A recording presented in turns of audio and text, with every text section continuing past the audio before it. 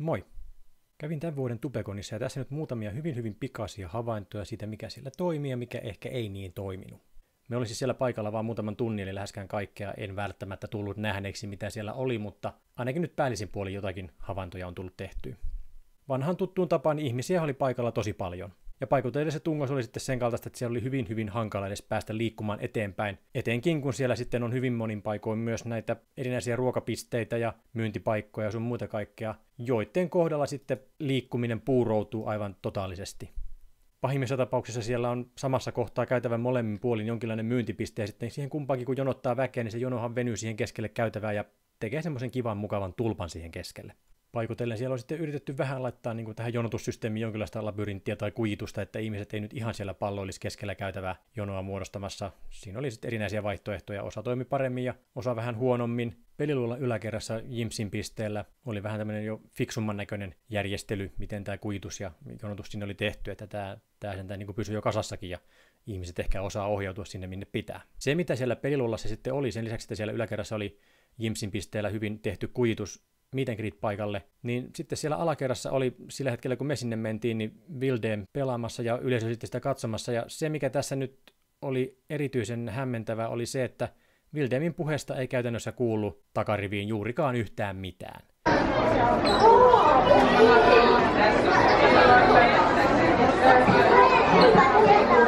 Toki tässä nyt vähän kameran erottelukykykin tota, niin vielä korostaa sitä tilannetta, mutta ei se tuosta paljon erilainen ollut ihan livenä kuultunakaan, että siellä edessä ihmisellä suu liikkui, mutta juurikaan mitään ei kuulunut. Toki siellä osasyynsä oli sitten myös sillä, että siellä oli eturivissä valtava määrä kiljuvia lapsia, mutta se nyt ei tietenkään sitä tapahtuman vika, että näin on.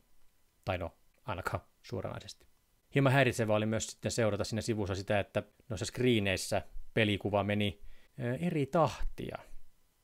Siellä peliluolla yläkerrassa tosiaan oli sitten Jimsin piste, ja siellä oli sitten taas äänentoisto jo niin kuin piirun verran parempi. Toki tässäkään ei taas ihan kameran erottelu sitä näytä semmoisena kuin se siellä oli, mutta niin kuin nyt saatatte kuulla, niin täällä kuitenkin sen puheesta kuulee jotakin. Siitä otettiin ensimmäinen piste.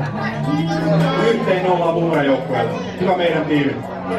Siellä oli muutamia hämmentäviä opasteita, niin kuin tämmöinen gaming zone keskellä käytävää, missä ei sitten kuitenkaan ollut niin kuin mitään mihinkään pelaamiseen liittyvää.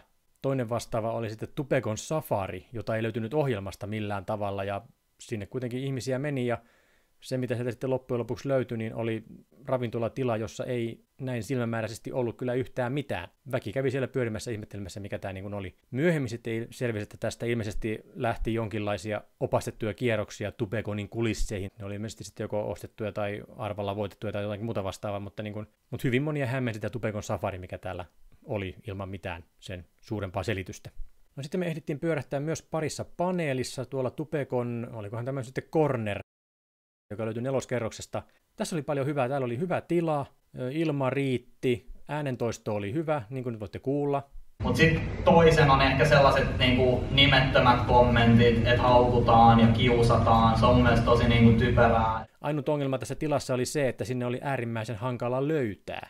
Sinne ei jostain syystä päässyt portaita pitkin, vaikka siellä portaissa oli kuitenkin opasteet, neloskerros, että sinne piti mennä hissillä, johon sitten mahtui tietenkin aina vaan määrätty määrä ihmisiä kerrallaan. No itse arenatasolla me ei sitten käyty muuta kuin tämmöinen pikainen vilkaisu tekemässä, koska todettiin, että no siellä ei oikeastaan ole mitään kovin ihmeellistä nähtävää. Siellä on se päälava, missä esiintyy milloin kukakin ja, ja toisessa päässä arena oli sitten Siljalainen meet and greet piste, missä porukka jonotteli ja otti kuvia ja sun muuta vastaavaa. Ja sitten sinne arenan puolelle, ei tasolle, mutta arenan puolelle kuitenkin oli tullut tänä vuonna sitten muutamia sponsoreiden greet pisteitä, mitkä sitten näkyy siellä areenan puolella. Toki niihinkin jonotus tapahtui sitten taas siellä käytävän puolella, joten se ei sitä ruuhkaa siellä juurikaan sitten lieventänyt. Johonkin se jonon on kuitenkin mentävä, vaikka se meet paikka onkin tuolla, niin jonot oli kuitenkin pääasiassa siellä käytävän puolella. Osa meet and oli sitten pistetty pihalle, ne taisi olla pelkästään splayläisten pisteitä, mitä täällä oli. Tähän aurinkoisella ilmalla on ihan toimiva ratkaisu, hyvät kujitukset siellä, mutta toki tässä nyt sitten voi miettiä, että jos koko päivän olisi esimerkiksi satanut vettä, niin miten tämä olisi toiminut ja olisiko heillä ollut jonkinlainen varasuunnitelma siihen, että mennään jonnekin muualle, jos aivan kaatosade sattuu olemaan pihalla. En tiedä. Mutta sitten yksi, mikä siellä oli ihan toimiva uudistus, niin oli aikuisparkki, joka oli siirretty tänne selkeästi sivuun. Että siellä sai kyllä aikuiset olla ihan kaikessa rauhassa viettämässä omaa aikaansa ja nautiskelemassa. Ainut ongelma, mikä aikuisparkin puolella oli, niin oli se heidän paneelilavansa siellä ja sen äänentoisto, joka oli todella surkeeta. Siinä ei edes kovin lähelle mennessä kuulu juurikaan yhtään mitään, mitä siellä keskusteltiin.